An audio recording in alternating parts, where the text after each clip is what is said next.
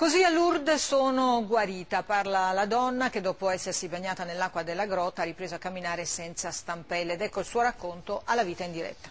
Sono andata in acqua, mi ha portato Paola, sono andata dentro l'acqua.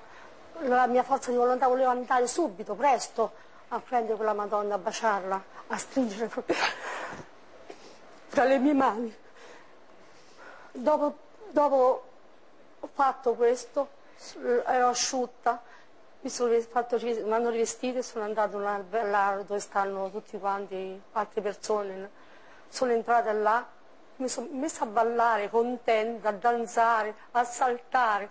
Una cosa dentro di me, una cosa interiore che andava uscito fuori, che doveva vivere, ricominciare un'altra vita, andare in avanti e vivere, non vivere. Ma c'è stato un momento in cui lei ha avuto la percezione esatta, precisa, che poteva eh, camminare con le sue gambe? In quel momento che ho buttato il bastone sono cominciato a camminare dentro di me.